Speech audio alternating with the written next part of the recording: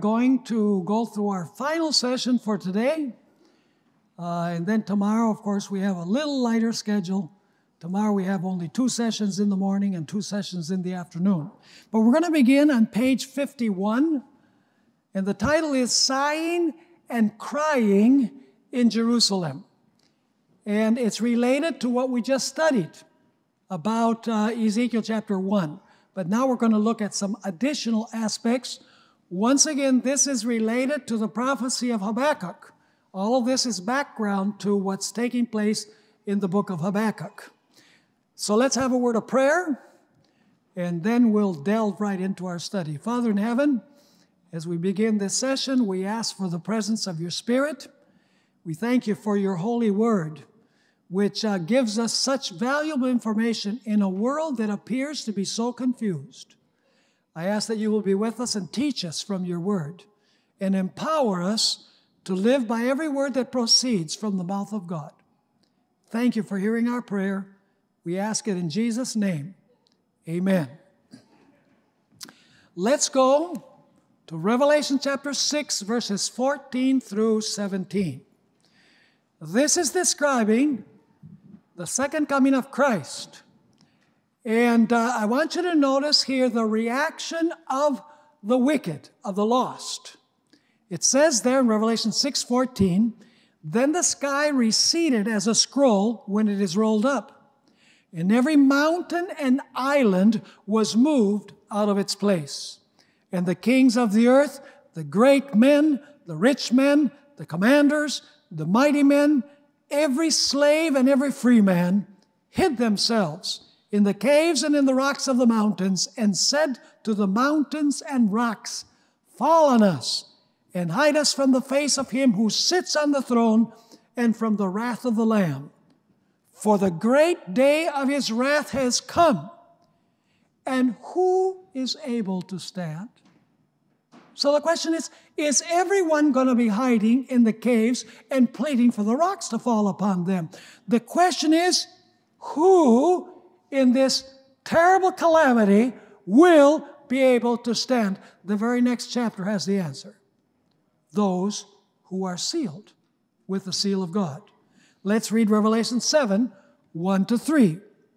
After these things, I saw four angels standing at the four corners of the earth holding the four winds of the earth, that the wind should not blow on the earth, on the sea, or on any tree. Then I saw another angel ascending from the east, having the seal of the living God. And he cried with a loud voice to the four angels to whom it was granted to harm the earth and the sea, saying, Do not harm the earth, the sea, or the trees. In other words, don't bring about this calamity that we read immediately before in this, in this co- context. It says, Do not harm the earth, the sea, or the trees till we have sealed the servants of our God on their foreheads. So, what is described in verses 14 to 17 of chapter 6 is not going to come until the sealing takes place. And the purpose of the sealing is to protect the sealed from the calamities that are going to befall the earth in the previous chapter. Now, the guiding principle that we need to apply in studying this story from Ezekiel is found in a comparison between Revelation 7 1 through 4 and Ezekiel chapter 8 and 9. So, in other words, in order to understand the sealing in Revelation 7, verses 1 through 4, we need to understand it in the light of a story that we find in the Old Testament, in Ezekiel 8 and 9. Ezekiel 9 describes the type that was fulfilled with the literal Jews in literal Jerusalem in the literal land of Israel. However, the fulfillment of this in Revelation is not with the literal Jews in the literal land of Israel, it is with spiritual Jews in the entire world. The type is limited, the antitype is global and spiritual. That's the principle that we need to apply as we look at the typology between the Old Testament story and the book of Revelation. The Ezekiel type describes God's own professed people in the Middle East who were in apostasy. However, the book of Revelation antitype describes the Christian world that claims to serve God, but is also in apostasy. Now, who was to blame for the apostasy among God's people in the book of Ezekiel with literal Jerusalem, literal Israel, with the literal Jews who professed to serve the Lord? The main guilt was with the religious leaders because they misguided the people. Notice Jeremiah 5 and verse 31. The prophets prophesy falsely, and the priests rule by their own power. And now notice the people are also guilty because it says, And my people love to have it so. But what will you do in the end? People these days trust their religious leaders blindly, what they say from the pulpit. Because they say, this is a spiritual leader. This person has to have it right. No doubt about it. But the people in the days of Ezekiel were in apostasy because of what was being done by the prophets and by the priests that were the spiritual leaders of Israel. Ezekiel 22, verse 26, picks up on this. Her priests have violated my law and profaned my holy things. They have not distinguished between the holy and the unholy. That means the holy and the common. Nor have they made known the difference between the clean, unclean and the clean, and they have hidden their eyes from my Sabbaths, so that I am profaned among them. What a picture. The religious leaders were profaning the Sabbath. They were not teaching the people to distinguish between that which was holy and that which was common. They were violating the law of God and they were profaning that which was holy. That was the condition of the people in the days of Ezekiel. So now let's summarize chapter 1 of Ezekiel, going all the way through chapter 12 of this book. This is happening in the year 592 BC. Most of these chapters, we're going to summarize the content because we can't read all of the material. I would I would encourage you to read the passages that we find in Ezekiel 1 through Ezekiel 12. In chapter 1, as we saw in our previous study, a chariot comes from the north. That is where? Heaven. Where is the chariot moving to? It is moving to the Jerusalem temple. What is it moving there for? To perform a work of investigative judgment to separate between the sealed and those who do not have the seal before destruction comes upon Israel. This throne is surrounded by cherubim, like we studied in our previous presentation. That's chapter one. Now, chapters two through six describe the spiritual condition of those who profess to serve God all kinds of abominations are mentioned in these chapters that tell us how the people were living in apostasy, those who claimed to serve God. Chapter 7, therefore, tells us that because of the apostasy that is described in chapters 2 through 6, God is going to bring about destruction upon Jerusalem and upon his apostate people. Let's read chapter 7 and verses 1 through verse 4.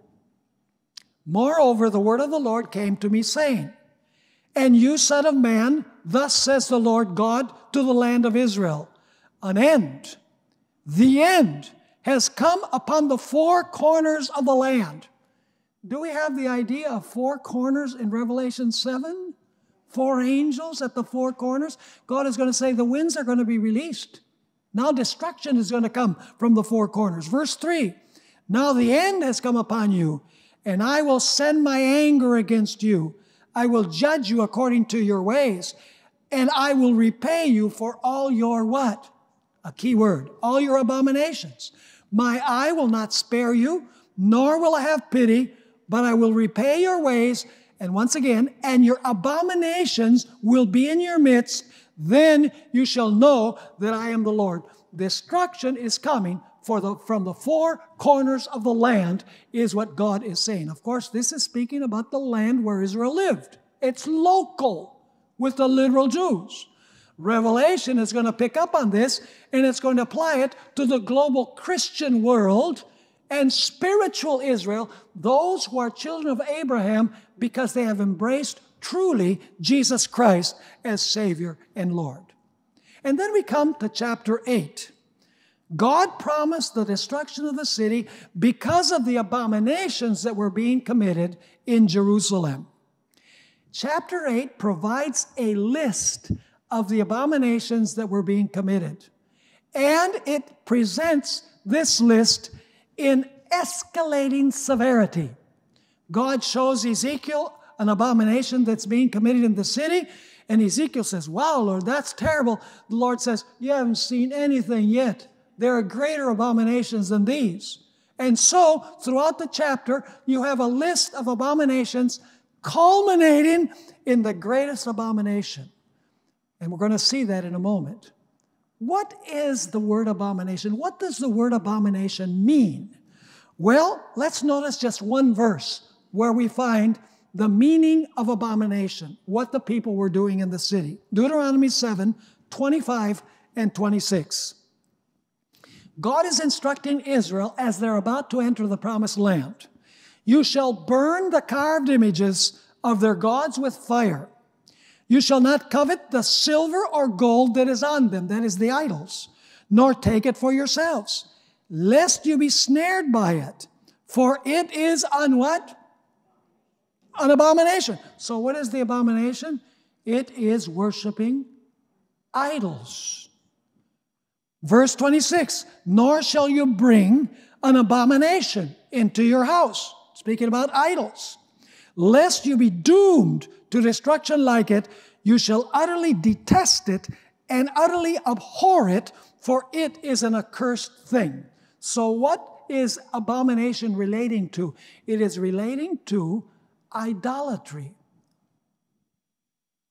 Now, what was the greatest abomination that was being committed by those who professed to serve God? At the top of the list of abominations being committed by those who profess to serve the Lord was that the religious leaders were worshiping the sun god. God promised that this abomination would lead to desolation. There you have the expression abomination of desolation. The abomination leads to desolation or to destruction. So to speak, sun worship was the straw that broke the camel's back. It was the drop that filled the cup. Let's read about this terrible abomination, the greatest of all, worshiping the sun. Ezekiel 8, verses 16 through 18. So he brought me into the inner court of the Lord's house. And there at the door of the temple of the Lord, this happening in the very, in the very church of the day, between the porch and the altar, about 25 men with their backs toward the temple of the Lord. What are they doing when they're worshiping the sun? They are turning their backs on the Lord. So, once again, there were about 25 men with their backs toward the temple of the Lord and their faces toward the east, and they were worshiping the sun toward the east. And so God says, because of this great sin along with all of the other abominations, the idolatry, I am going to destroy the city. Ezekiel 8, 17 and 18. In other words, the abomination will lead to desolation. It says in Ezekiel 8 17 and 18, and he said to me, Have you seen this, O Son of Man? Is it a trivial thing to the house of Judah to commit the abominations which they commit here? For they have filled the land with violence. Then they have returned to provoke me to anger. Indeed, they put the branch to their nose. Therefore, I also will act in fury. My eye will not spare, nor will I have pity.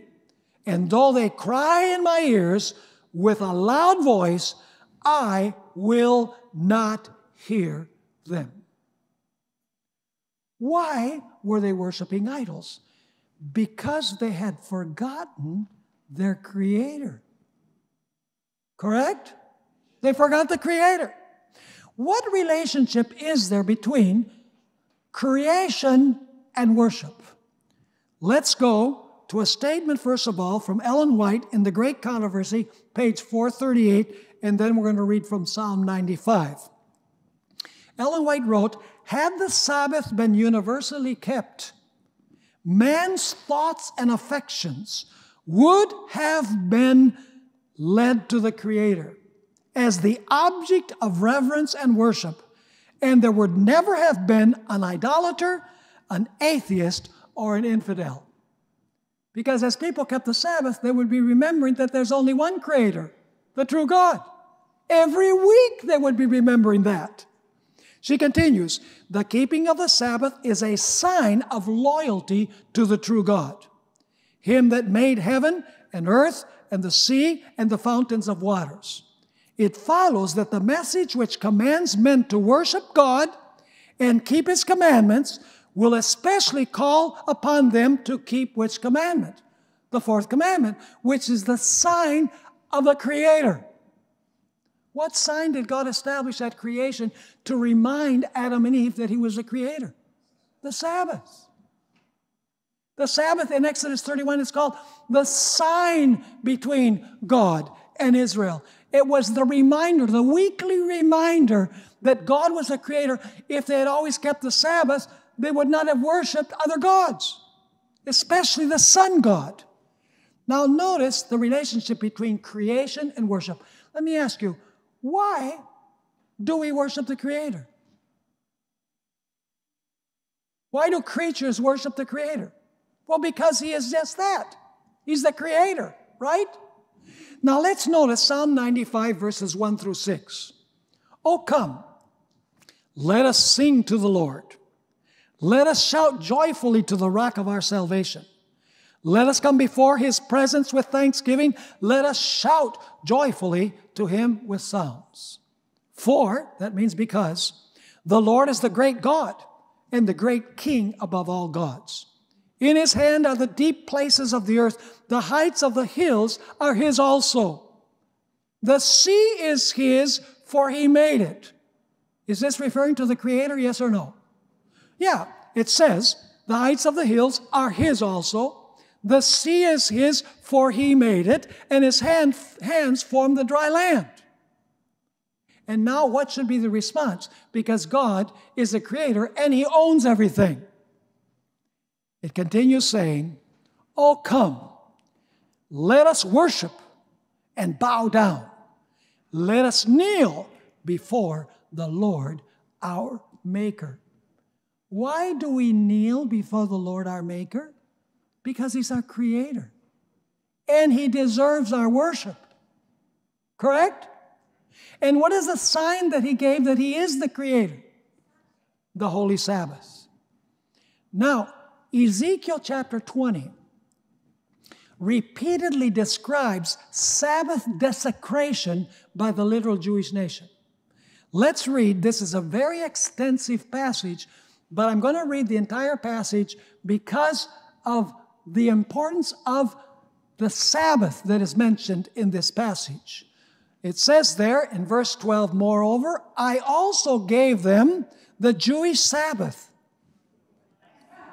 uh, okay, you're still awake out there? I also gave them my Sabbaths. You know why it says Sabbath? Because he was the one that rested first. It's his Sabbath before it's ours. I gave them a Sabbath to be what? Ah, a sign between them and me that they might know that I am the Lord who sanctifies them. In other words, that sets them apart. Yet how did Israel react? Yet the house of Israel rebelled against me in the wilderness. They did not walk in my statutes. They despised my judgments, which if a man does, he shall live by them. And they greatly defiled, here's the first reference, they defiled what? My Sabbaths. Then I said, I would pour out my fury on them in the Lord. Why was God going to pour out his fury upon them? Because they defiled his Sabbaths. So once again, then I said I would pour out my fury on them in the wilderness to consume them. But I acted for my name's sake that it should not be profaned before the Gentiles in whose sight I had brought them out. So I also raised my hand in an oath to them in the wilderness that I would not bring them into the land which I had given them, flowing with milk and honey, the glory of all lands. Because they despised my judgments and did not walk in my statutes, and here it is again, second time, but profaned my Sabbaths. And what was the result of profaning the Sabbath? For their heart went after their what? Idols. Would that have happened if they had kept the Sabbath? Of course not. How could they worship an idol giving that creative power if they kept the Sabbath which points that there's only one true creator? 17. Nevertheless, my eye spared them from destruction. I did not make an end of them in the wilderness. But I said to their children in the wilderness, Do not walk in the statutes of your fathers, nor observe their judgments, nor defile yourselves with, here's it again, with their what?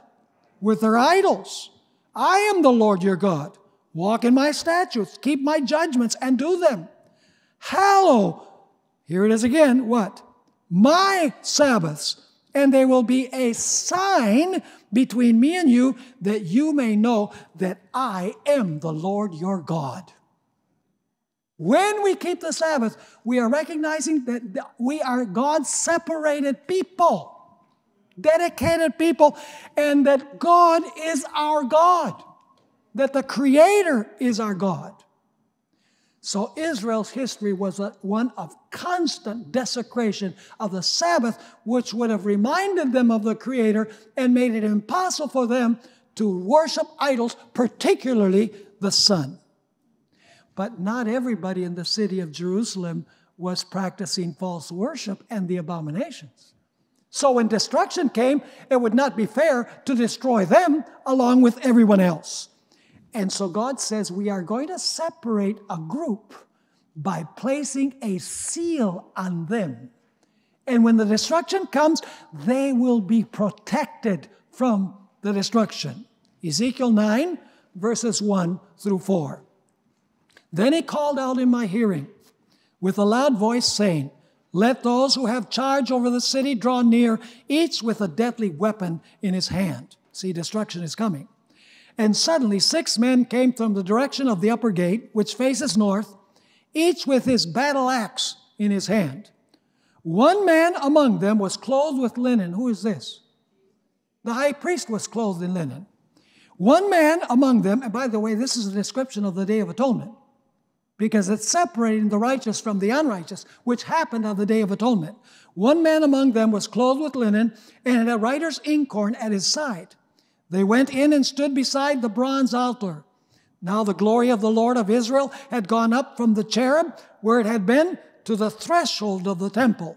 And he, that is the Lord, called to the man clothed with linen, who had the writer's inkhorn at his side. And the Lord said to him, Go through the midst of the city, through the midst of Jerusalem, and put a mark on the foreheads. Does this have any relationship with uh, chapter 7 of the book of Revelation? Putting a mark on the forehead? Absolutely. Put a mark on the foreheads of the men, now here's the characteristic, who sigh and cry over all the abominations that are done within it.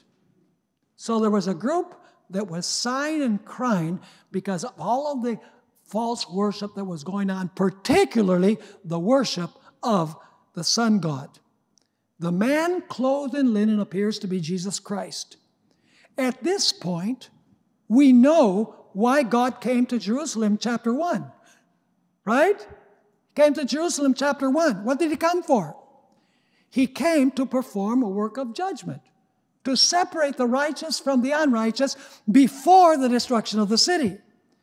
The description is that the work of the high priest in the most holy place on the Day of Atonement, when Israel was divided into two groups those who sighed and cried, and those who were practicing the abominations in the city. By the way, the man who is clothed in linen, according to Leviticus 16, verse 4, would be a reference to Christ. Because speaking about the high priest, it says, He shall put on the holy linen tunic. This is on the Day of Atonement. And the linen trousers on his body. He shall be girded with li- a linen sash, and with a linen turban he shall be attired. These are holy garments. So, this is describing the Day of Atonement the separation of the righteous from the unrighteous, the sealing of those who sigh and cry, so that when destruction comes, they are protected. Are you starting to catch an interesting picture here? Now, after separating the righteous from the unrighteous, destruction would come upon those who were not sealed. Notice Ezekiel 9, verses 5 through 7. To the others, he said in my hearing, Go after him through the city and kill in other words, after the sealing, do not let your eyes spare, nor have any pity. Utterly slay old and young men, maidens and little children and women. But do not come near anyone on whom is the mark. And begin where? At my sanctuary. Why at the sanctuary? Who was guilty of the apostasy according to what we notice? The religious leaders. So they are much more responsible than the people whom they deceived. And so it says, So they began with the elders who were before the temple. Then he said to them, Defile the temple and fill the courts with the slain. Go out. And they went out and killed in the city. And now we need to notice, go back a little bit and see that something happened before the destruction came. I just wanted you to see that there's a sealing, and after the sealing comes the destruction. But now we need to go back to uh, chapter 10, or forward to chapter 10. After the work of the sealing was complete, the most holy place, Shekinah, you know what the Shekinah is, right? The glory that was in the most holy place, representing the presence of God, it departed from the sanctuary. And national apostasy led to national ruin. Does that sound familiar? The abomination that leads to desolation, if you please. The man clothed in linen then did what? After the sealing took place, he poured out the coals of the censer upon the city, and it was consumed. This is referring to the high priest who waved the incense before the Lord, which represents the prayers of God's people, the prayers of the saints. But now the censer is thrown down, which means that the censer is no longer interceding. This is the close of probation. The Shekinah glory, the presence of God, is about to depart from the city. And when it departs from the city, the city has no defense against Nebuchadnezzar and his armies that come to destroy those who did not sigh and cry because of the abominations. And so in Ezekiel chapter 10, verses 1 and 2, we find these words. And I looked, and there in the firmament that was above the head of the cherubim, there appeared something like a sapphire stone, having the appearance of the likeness of a throne. Then he, the one seated on the throne, spoke to the man clothed with linen, who is whom? Jesus, and said, Go in among the wheels, under the cherub, fill your hands with coals of fire from among the cherubim, and scatter them over the city. And he went in as I watched. What is going to happen now with the fire that used to intercede? It is going to consume the city. The coals that interceded no longer intercede. The coals are now cast on the city, and the city is going to burn because intercession has come to an end. But the Shekinah did not leave just instantly. Notice Ezekiel 11 22 and 23. The Shekinah glory left the, te- the temple of Jerusalem and it lingered on the Mount of Olives. I wish I had time to go into the abomination of desolation as it was fulfilled in the destruction of Jerusalem for the second time. But you can find that in the Matthew 24 series. My favorite study notes of all time, Matthew chapter 24, and the series, because it's a different way of understanding Bible prophecy. In chronological order, you have all of the events as they will occur in a straight line. That's not true of Daniel. Daniel has repetitive cycles. It flashbacks and then goes forward. Revelation is even more complicated. It goes backwards, forwards, it goes in cycles. And unless you know how to decode the book, you're, you're not going to know where you're at. But Matthew is simple because everything is in strict chronological order. So in Ezekiel 11, 22 and 23, by the way, Jesus, after he said, Your house is left unto you desolate, he went and he sat on the Mount of Olives and gave Matthew 24. So the cherubim lifted up their wings with the wheels beside them, and the glory of the God of Israel was high above them. And the glory of the Lord went up from the midst of the city. So let me ask you, is the Shekinah going to abandon the city now? The protection of the city is leaving. It says, and the glory of the Lord went up from the midst of the city, and what did it do?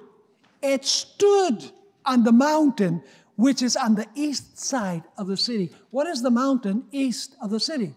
It is the Mount of Olives. And what followed? The departure of the Shekinah from the city. Second Chronicles 36, 17 to 19 is going to speak about the destruction of the city by fire. It says there, Therefore he brought against them the king of the Chaldeans, who killed their young men with the sword in the house of their sanctuary, and no compassion on young man or virgin, or the aged or the weak. He gave them all into his hand, and all the articles from the house of God, great and small, the treasures of the house of the Lord and the treasures of the king and of his leaders, all these he took to Babylon. Then they burned the house of God, broke down the wall of Jerusalem, burned all its palaces with fire, and destroyed all of its precious possessions. The abomination that led to desolation because of the apostasy and idolatry in the city, the greatest abomination being the worship of the sun by the leadership. Now, some people might say, well, Pastor Bohr, are you saying that the city was destroyed because people didn't keep the Sabbath? That's exactly what I'm saying. And that's exactly what the Bible says. Let's notice Nehemiah, Jeremiah chapter 17 and verses 21 to 27. Jeremiah 17 and verses 21 through verse 27. Thus says the Lord. By the way, Jeremiah was the prophet just before the captivity, okay, during the reign of King Josiah. Thus says the Lord Take heed to yourselves and bear no burden. When? On the Sabbath day, nor bring it in by the gates of Jerusalem, nor carry a burden out of your houses. When? On the Sabbath day, nor do any work, but hallow, excuse me, the Sabbath day, as I commanded to your fathers. But they did not obey, nor incline their ear, but made their neck stiff, that they might not hear nor receive instruction. And it shall be, if you heed me carefully, says the Lord, to bring no burden through the gates of this city on the Sabbath day, but hallow the Sabbath day to do no work in it. What would happen if they were observing the Sabbath? Then shall enter the gates of this city kings and princes sitting on the throne of David, riding in chariots and on horses, they and their princes accompanied by the men of Judah and the inhabitants of Jerusalem, and this city shall remain forever. What would happen if they were observing the Sabbath and respecting the Creator and not worshiping the sun? The city would remain forever. It would not be destroyed. But what happened if they didn't keep the Sabbath? Let's continue reading. It continues in verse 26 And they shall come from the cities of Judah and from the places around Jerusalem, from the land of Benjamin, and from the lowland, from the mountains, and from the south, bringing burnt offerings and sacrifices, grain offerings and incense, bringing sacrifices of praise to the house of the Lord. Wow! The city was going to be tremendously blessed. But now notice, but if you will not heed me to hallow the Sabbath day, such as not carrying a burden when entering the gates of Jerusalem on the Sabbath day, then I will kindle fire in its gates, and it shall devour the palaces of Jerusalem, and it shall not be quenched. Did the destruction of the city have anything to do with the profanation of the Sabbath? Absolutely. The city would have remained forever if they'd kept the Sabbath, because in keeping the Sabbath, they would be confessing their belief in the Creator. They would be worshiping the Creator. It was the sign between God and Israel. It was a sign that He was their God. In other words, it was more than a day. It was the evidence that they served the Lord. But if they trampled on the Sabbath and they worshiped idols and they worshiped the sun, that means that they forgot the Sabbath. Are you following me or not? Now, let's apply this to the end time. Is Sunday worship idolatry? Is it the same to worship the sun as it is to worship on the day of the sun? Some people say, no, there's no, there's no similarity. Yes, there is. Let's ask three questions. Who created the sun? God. Was it created for worship? No. It was created as a secular object, not for worship. So, what happens if you make the sun an object of worship? What is that called? Idolatry. Now, let's ask three additional questions. Who created the first day of the week? The day of the sun. Who created it? God, uh, God did. Did He create the first day for worship? No. It's a common day of work. Six days you shall labor and do all your work. So, what happens if you make Sunday a day of worship? It's idolatry. It doesn't matter if it's an object or if it's a day. Anything that man makes for worship that God did not make for worship is idolatry. Now, let's take two stories from the Bible that show how serious this is. You've heard of Belshazzar. Some call him Belshazzar. I call him Belshazzar. Anyway, on the final night before the fall of Babylon, he was celebrating a banquet with a thousand of his luminaries and dignitaries. And he did something very serious. He called for the holy vessels of the sanctuary to be brought to use them for the secular purpose of drinking wine in them. Let's read chapter 5 of Daniel, verses 1 through 4. Belshazzar, the king of what nation? Babylon, made a great feast for a thousand of his lords. And what did he do? He drank wine in the presence of the thousand. Now listen to carefully while he tasted the wine, did the wine have anything to do with him not distinguishing the holy from the common? Yeah, because it says, while he tasted the wine, Belshazzar gave the command to bring the gold and silver vessels which his father Nebuchadnezzar had taken from the temple which had been in Jerusalem, that the king and his lords, his wives and his concubines might drink from them. Using holy vessels, for a common pur- purpose. It continues saying, verse 3 Then they brought the gold vessels that had been taken from the temple of the house of God, which had been in Jerusalem. And the king and his lords, his wives and his concubines, drank wine from them. is wine playing a very important uh, point here, very important, important uh, uh, aspect of this story? Absolutely. They drank wine. And now notice, because they drank wine, they fell into idolatry. Correct? And so it says, they drank wine, and what was the result?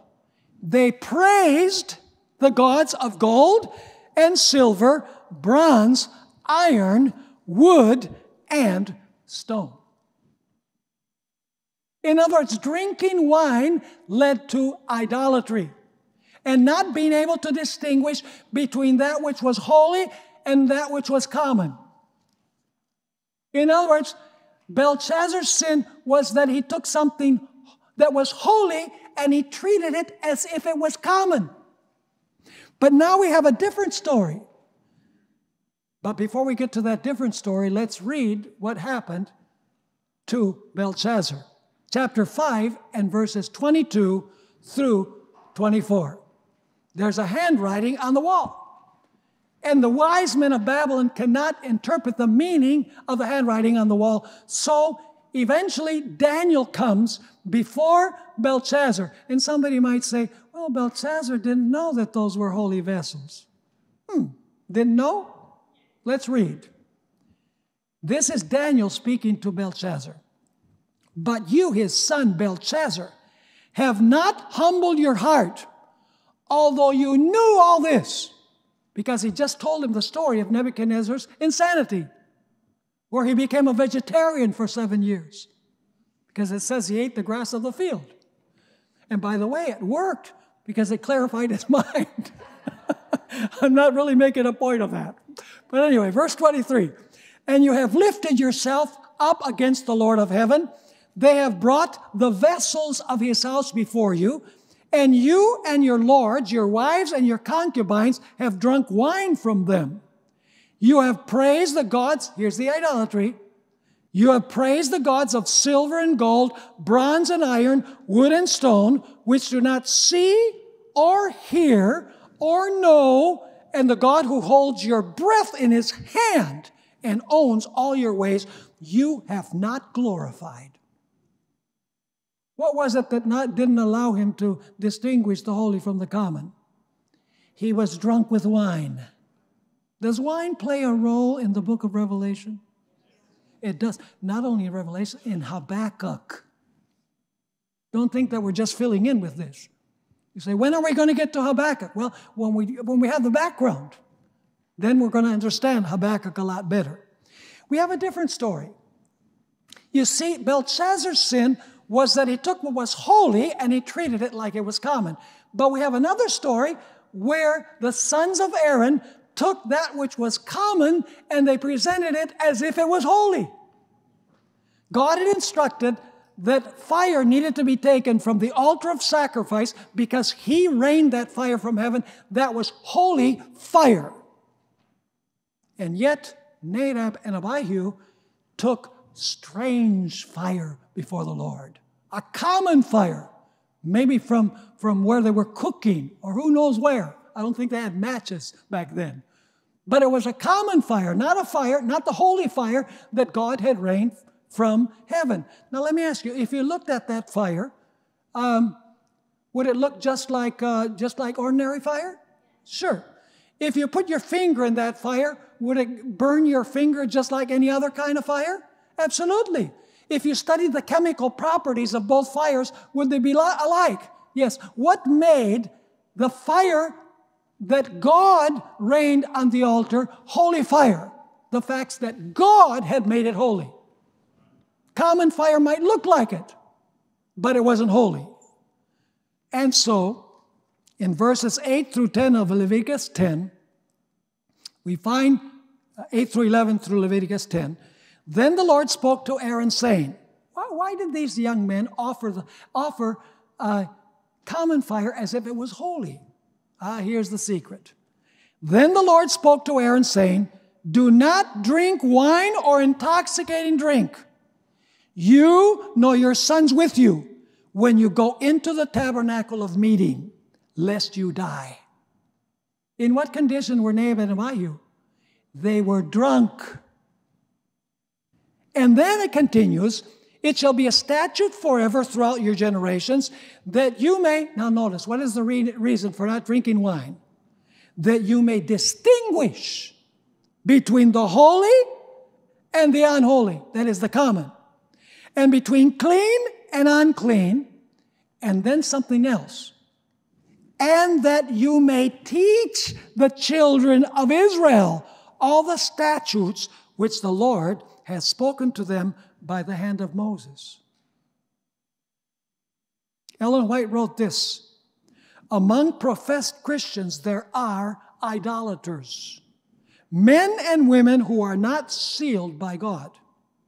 Many has, have subverted the Christian faith into idolatry, giving to a man made institution the glory and honor that God requires for His Sabbath day and compelling others to worship this idol. Such ones will surely be visited with God's retributive judgments, which are to be poured out without mixture of mercy upon the unrepentant despisers of God's law. Are you catching the picture? Now, there are many Christians who are idolaters. They don't know they're idolaters by observing the day of the sun, which is a man made institution for worship. If it's a man made institution, would it be idolatry to keep a man made institution as if it were holy? Of course. You know what human beings have done?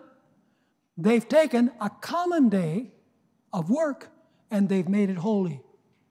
And they've taken the holy day and they've made it common. If God accepts that, He's going to have to apologize to Belshazzar and Nadab and Abihu because the principle is the same.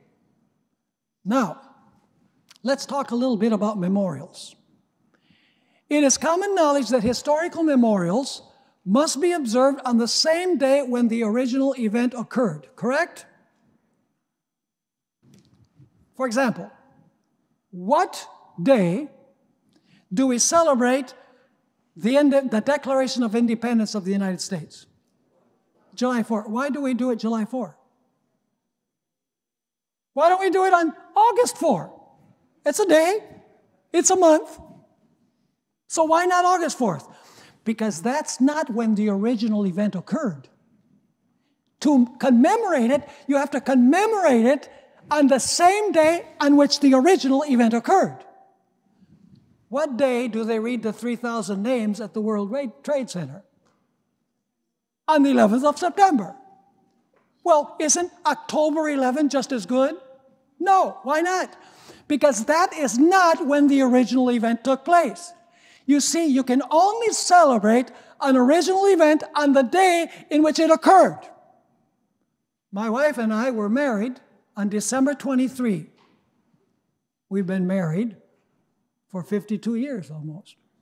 It's a long time, patient woman. Actually, if you talk to her, I can give you her phone number. She'll say pretty nice things about me. anyway, we celebrate our anniversary on December 23. Why do you think we celebrate our anniversary December 23? Because that's the day we got married. How do you think my wife would think if I said, you know, we've been doing this for 52 years, same day, same day, same day. Let's celebrate our anniversary this year on my birthday, June 26. What would she say? Have you been drinking the Kool Aid? she wouldn't say that because she knows that I don't drink.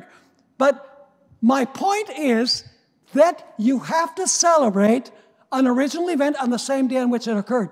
Do you know that Pope John Paul II and Benedict XVI, as well as Francis I, have said that we need to keep Sunday in honor of the Creator. That is not possible. Because God did not rest on Sunday from creation, He rested on the Sabbath. You have to rest on the same day that God rested to commemorate it. So to say, oh, my Sabbath is Sunday, I say, right, it's your Sabbath. But it's not the Lord's Sabbath. Are you following me? Now, Revelation 17 has the final fulfillment of this. The final and global fulfillment of the Ezekiel type. This chapter describes a harlot who is committing fornication with the kings of the earth. God promises to make her desolate. She is identified as Babylon and gives fermented wine to all the inhabitants of the planet. As a result, they cannot distinguish between holy and common, and they fall into idolatry. In Bible prophecy, we know that the harlot woman represents an apostate church. This is a church that claims to love and serve Christ, yet tramples upon the Sabbath and exalts the idolatrous Sunday. The harlot represents an apostate church. She is a global church because she sits on nations, multitudes, tongues, and peoples. She mingles religion with politics because we are told that she fornicates with the kings of the earth.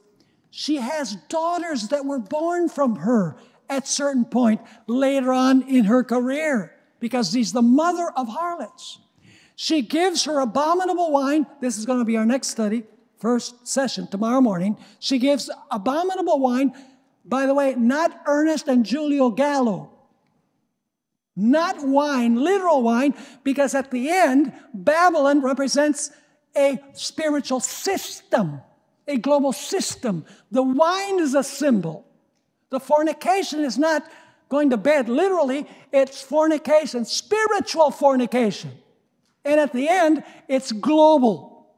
She gives her abominable wine a false doctrine to the world, which makes it impossible for them to distinguish between holy and secular day of worship. And as a result, they fall into idolatry. She has a history of shedding the blood of God's faithful people, and she claims to have changed God's law. The little horn thought it could change God's law. Now, Let's go to our last section because time is flying by, a matter of authority. The final controversy will not be over a matter of days, primarily. Behind the day is the issue of authority. When we keep the Sabbath, it is a sign that we are obedient to the Creator, and when we keep Sunday, it is a sign that we are obedient to the power who claims to have changed the day. It's the same controversy that existed in the Garden of Eden. Only God used a different way of testing Adam and Eve. At the beginning, God tested with a tree. At the end, He tests with a day. What was the issue in the Garden of Eden? If Eve abstained from eating from the tree, she would be respecting the authority of whom? The authority of God. If she ate the fruit, she would be obeying the authority of whom? Of Satan. Behind the tree was the issue of which authority are you going to obey? Are you following me? That's in the Garden of Eden. At the end, it's going to be an issue of a day that is going to determine which side you are on whether you respect the authority of God by keeping the day He has established, or the authority of Satan and the day that he has led to be adopted in the Christian world.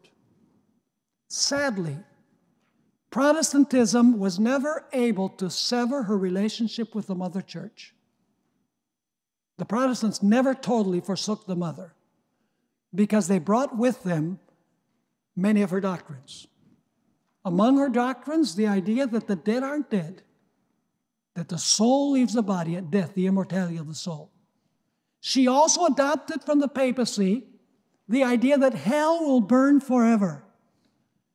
And she embraced from the papacy the idea that Sunday is a day that we should honor God as the Creator. And therefore, the Protestant churches will return to Mother. Notice this last remarkable statement that we find by John O'Brien, who for decades taught at the University of Notre Dame near Andrews University. he challenges the Protestants, and at the end of the statement, he makes a very interesting remark. Let's read this statement. By the way, he was author of, over 40 books, very well known.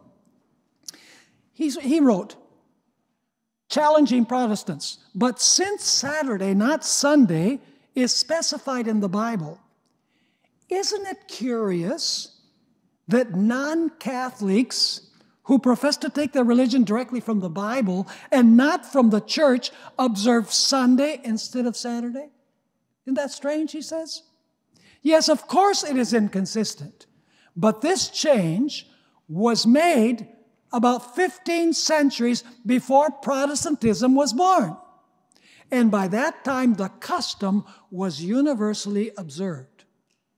And then she says to, uh, uh, he says to Protestants, they have continued the custom, even though it rests upon the authority of the Catholic Church and not upon an explicit text in the Bible. And now comes the key portion. That observance remains as a reminder of the Mother Church, from which the non Catholic sects broke away. Like a boy running away from home but still carrying in his pocket a picture of his mother or a lock of her hair. Are you catching the picture? Protestantism never severed its relationship with the mother, and therefore it will once again come back to mother. Did you understand this, uh, this study? How important is the Sabbath? It's a matter, it's a matter of life and death. The Sabbath is the seal of God, the sign of God, that we worship the true God, that He is the only true God, that we owe Him our worship because He's the Creator. Every week we remember that. That's what the reason why, by the way, in the fourth commandment it says, Remember the Sabbath day to keep it holy. Why would God say, remember the Sabbath day to keep it holy? Because we might fall into what? Forgetting that the Sabbath is holy. And so God wants us to keep the Sabbath joyfully, not by force. He wants us to joyfully embrace the observance of the Sabbath, not because we have to, but because we love our Lord. We want to please Him and obey His authority.